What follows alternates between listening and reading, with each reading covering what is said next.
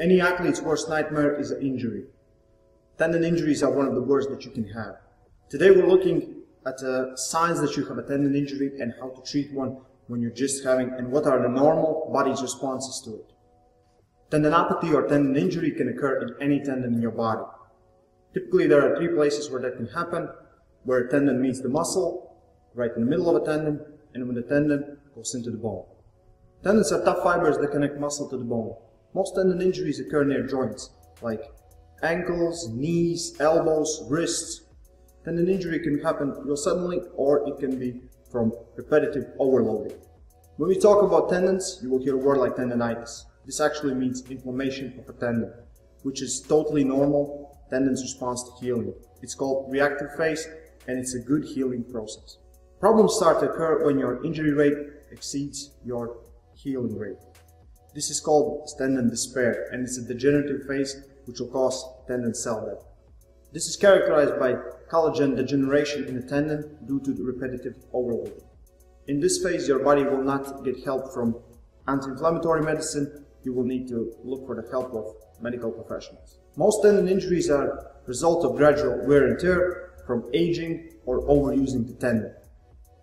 Everyone who's doing the same movement over and over again in their daily lives, in sports, in uh, different activities, they can have tendon problems just by not giving it enough time to heal itself and then putting more stress to it. Your tendons are designed to withstand high repetitive loading, but when the load becomes too great for tendon to handle it, it can cause tendonitis and then goes into different phases. So when the load applied to the tendon is bigger than it's, it can withstand, it will get stressed. When tendons get stressed, they receive small micro tears, which encourage inflammatory chemicals to be released in your body, which is normal response uh, to injury, and it can quickly go away if managed appropriately. What are the symptoms of tendinopathy? Tendinopathy usually causes pain, stiffness, and weakness in affected area. Pain will get worse when you use the tendon. You will get more pain in the nighttime, and you will be uh, stiff in the morning. The area may be red, tender, warm, and this is from the inflammation that's happening right there. You even might notice a crunchy sound when you're moving the tendon. The inability of tendon to adapt to the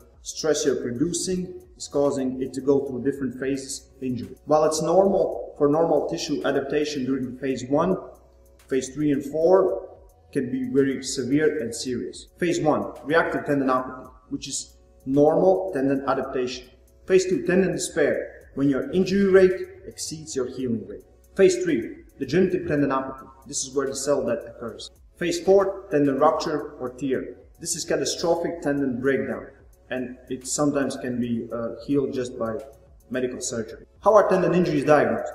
Most likely you will go to physiotherapist he will ask about daily activities, uh, sports which you're participating, where basically different kind of questions just to find out where you are. From that, he will make a plan about uh, how to go and to make yourself better. Sometimes the plan won't work. So this is when you need to have ultrasound or MRI to look at the tendon and more specifically diagnose at which phase it is. So maybe sometimes you will need medical intervention, sometimes exercises will help. When we talk about arm wrestling, tendon injuries occurring in every practice. So arm wrestling, most forces goes to our tendons, and tendons are breaking down. And there are a lot of guys that can do this. They can arm wrestle every day and have no pain. There are some guys that will have pain straight away from the first session. They need to take a rest. This is my advice for all the beginners. Please don't overdo it.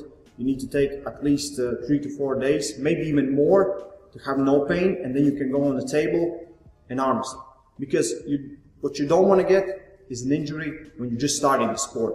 Because we're, we are really breaking down ourselves when we arm wrestle on the table. When the load becomes too much. So let's think it from another direction. When we're training, we're breaking down our tendon. Then you give it enough time to heal itself. Your muscles, you can still work on your muscles, but you cannot apply tension to the tendon where you feel the pain. Tendon will get better, he will get stronger. That means you can arm wrestle more and harder. Again, take a pause. So this will not work for everyone because there are there are exceptions, but it works for most of the population. I hope this helped. Next video uh, about tendon, we're going to talk about tendon healing. So don't forget to subscribe and see you next time.